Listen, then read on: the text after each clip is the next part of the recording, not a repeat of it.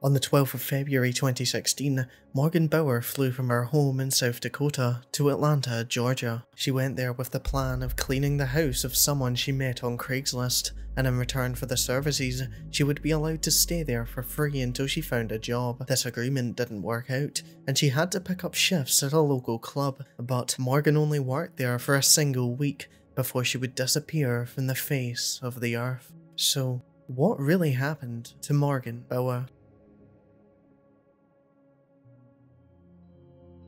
First, let's go back to where it all began. Aberdeen, South Dakota, where Morgan grew up. She was born on the 13th of April 1996 in Tennessee, but most of her life was spent in Aberdeen. By all accounts, her childhood was fine, and she did well in school, but opted not to go to college and instead had ambitious plans to make a life for herself somewhere new and she wasn't going to let anything stop her. The 19 year old Morgan told her mother, Sherry, about her plans to move to a new city. She said that she was planning to stay with two roommates and that she was leaving very soon. Her mother didn't see more than moon with the idea, but there wasn't anything she could do about it. Shortly after, Morgan caught a ride to Minneapolis, where she boarded a flight destined for her new home. February 12th, Morgan arrives in Atlanta. She had lied to her mother. She had no roommates planned, but she had managed to convince someone from Craigslist to let her stay with them until she could find a home. She was going to perform all the chores around the house,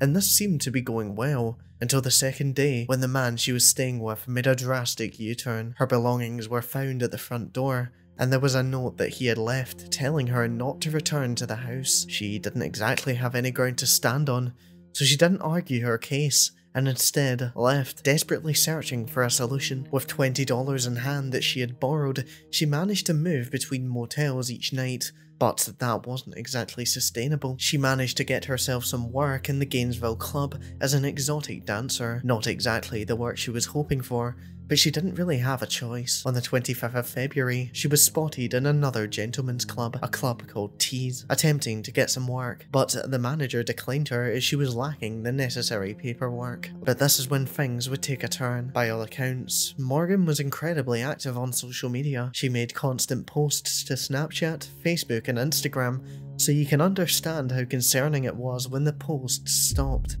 In the late hours of the 25th, Morgan was spotted leaving the club she worked at with two people, a dancer and the dancer's boyfriend. She was seen at a local gas station shortly after, but that was the last time that anyone laid eyes on the woman. Her friends hadn't heard from her since her last post, and her mother had gotten into a disagreement with her prior to her leaving, so she hadn't noticed anything strange either. On March 12th, when Sherry was made aware of the lack of activity from her daughter, she travelled to Atlanta and filed a missing persons report, and quickly the search for the missing woman began. The investigation got underway, and the first thing that the police chose to do was to ping her mobile phone. It was last active on the 27th of February, and it was conveniently in the location where the two people she was seen leaving with lived. They both quickly became the prime suspects, but after out a search, nothing was discovered and her phone was never located. It never pinged again either. Even though they had no evidence, they weren't going to let the couple go without an interrogation. They were interviewed,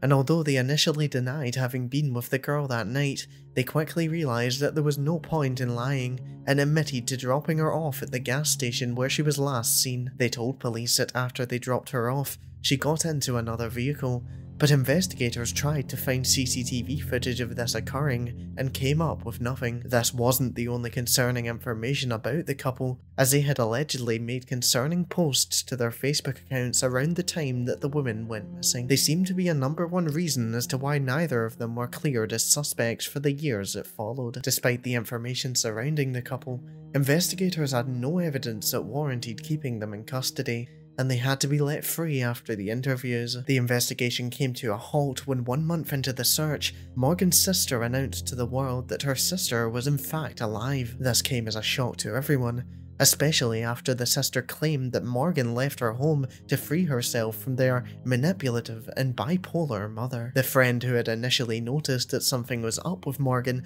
had also come forward to claim that she believed she had been speaking to Morgan over text message. So with all this information suddenly coming to light, Everyone calmed down their search efforts, believing that the woman had willingly disappeared. The police even stated that there was no evidence of foul play, saying that they didn't believe the girl was in immediate danger. As we'd come to find out, this was not the case. In 2023, an Instagram post made by Morgan would be brought to the attention of the police. It was posted on February 26, 2016, a day after the woman had gone missing. The video showed Morgan walking in a park, but disturbingly, there was a man following close behind her. This completely changed the investigation, with the police having to go back and analyse all of the details they thought had been set in stone. This wasn't the only information that would be brought forward last year, as a short while later, the police were tipped off about a property in Georgia. The information was so promising that they managed to secure a search warrant,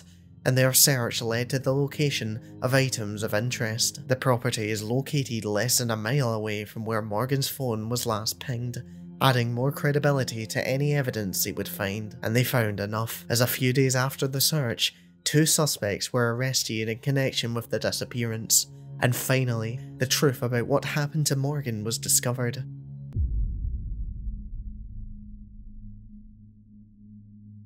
The girl was dropped off at the gas station, and sometime on February 26th, she was picked up by Jonathan Warren and Caitlin Goble. The pair strangled her and cut the body into pieces before attempting to burn the remains in an attempt to cover up the horrific crime. Warren then admitted to performing acts on the body, adding an extra charge to the disturbing list.